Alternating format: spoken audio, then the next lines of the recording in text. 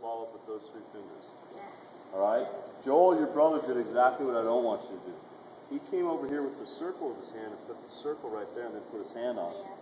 That's not what we want.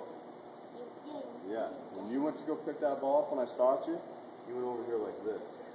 Yeah. You want to be like this. This finger is doing nothing. You got to imagine you just cut this finger off. Okay? So you got to pick that ball up, yeah, with those fingers. Thumb right here. Okay? Thumb's got to be on the ball. Exactly. Okay? That's a changeup. Okay? Now you might have to get it back in your hand a little bit, Luke. That thing might just fly out. Yeah, right there. Okay? Such a small hand. you're right here. Okay, right here. And you gotta throw it just like a fastball. I mean, just everything's the same. Everything's the same. Okay. So let's throw five changeups right now.